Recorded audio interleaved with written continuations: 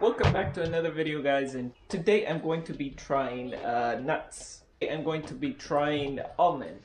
Uh, and uh, because uh, I can't do cashews which uh, which is a bummer. Um, so we're gonna we're gonna see how it goes. And before I continue with this video, please hit the, the like button. And if you're new to the channel, please hit the subscribe button. So we have a bag of almonds right here. And right now it is 11.57 a.m. She's studying on the floor. Hey, what do you got here? Oh yeah, she got rid of my organization. yeah, and then she organized here. We uh, we we got we got rid of the microwave.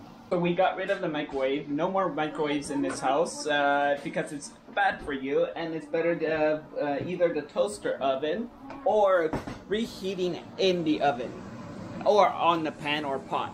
So that's a big uh, olive oil.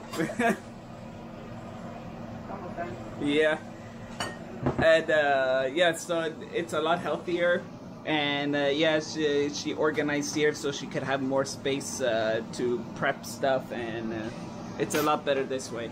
Awkward. No. Yeah.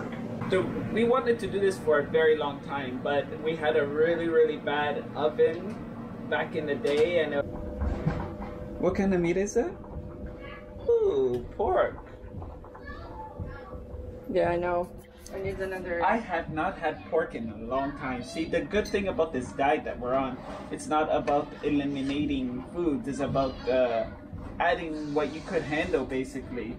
Like I said, it's a rotation diet. Yeah. Oh, sunflower is out of the picture. I, I can't do sunflower. So it's very important to know your limits.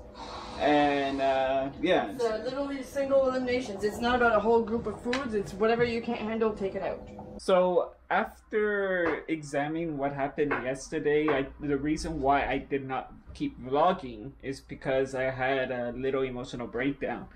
I, it has to do with the almonds. It was like one hour and a half after I had them, so it totally makes sense why it happened, and uh, I don't think I could uh, have those uh, anymore. And then the same thing happened with cashews. Remember the same thing?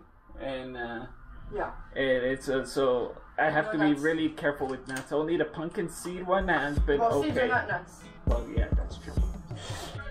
So thank you all for watching this video and I would like you all to remember to hit that like button, comment down below and also if you're new to the channel please hit the subscribe button and thank you for watching and keep watching.